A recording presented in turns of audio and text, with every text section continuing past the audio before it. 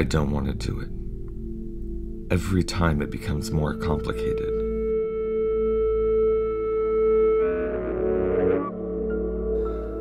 The elevated pleasure of the start, leaving me in a place of controlled discomfort.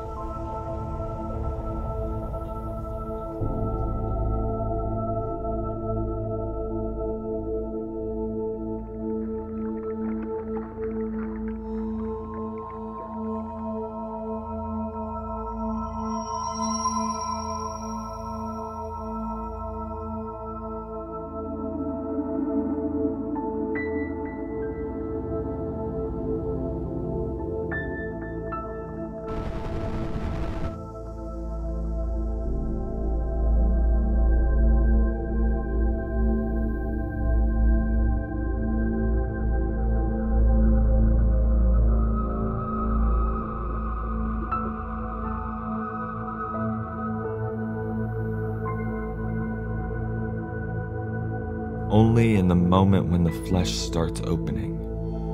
Only when that little point of metal bites a small, soft hole into my skin, showing me the live and fragile meat that it can devour, it doesn't even seem like I feel any better.